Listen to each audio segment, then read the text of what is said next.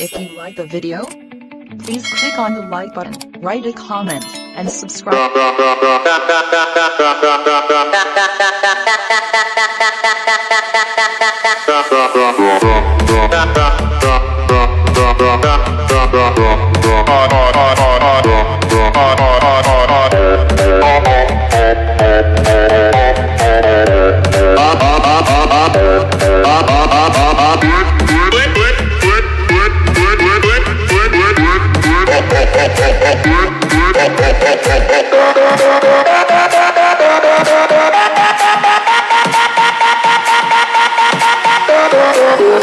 Oh,